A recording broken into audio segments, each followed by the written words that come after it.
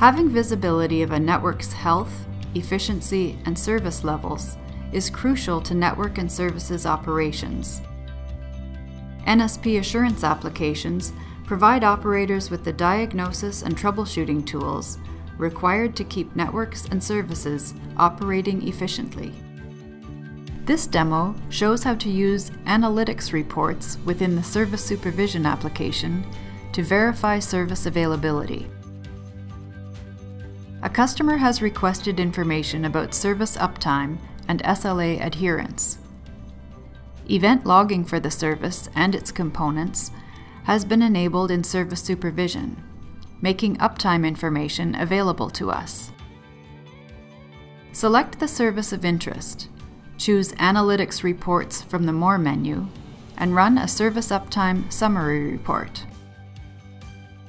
The Service Uptime Summary Report shows the overall uptime of the service with outage information.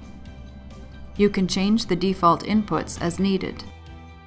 Here we can see that the configured threshold of 95% uptime was met on this service, but the uptime was not 100%.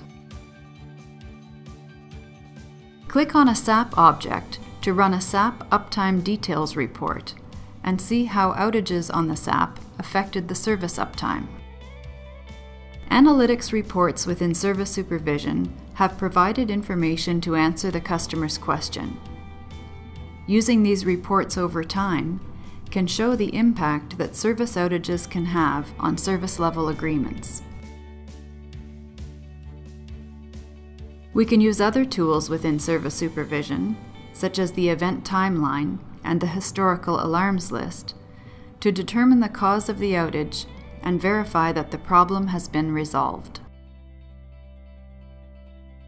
With these capabilities, the NSP Service Supervision application ensures that you have the visibility and access you need to maintain efficient operation of your network equipment. Active monitoring with NSP Service Supervision makes it easy to identify, troubleshoot, and resolve equipment problems as they arise.